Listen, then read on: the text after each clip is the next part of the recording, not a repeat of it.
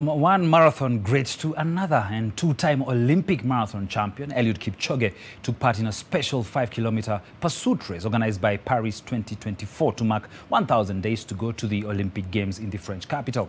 More than 3,600 members of Paris 2024 and the Orange Running team were split into five different groups based on ability. Participants set off before Kipchoge and raced on the course.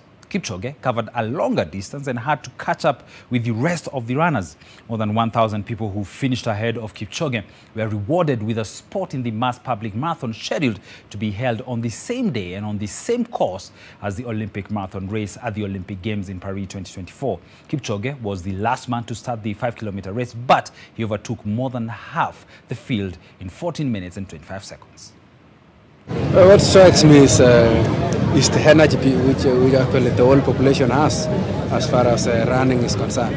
So it's a huge energy, it's a positivity in sport. You can see actually sport is life. Sport actually has come and, and survived in, in Paris. Uh, this, this is a unique event. This is a unique event to, to, to start at last, to chase people, to experience to overtaking people, to experience actually uh, many people finishing before you finish.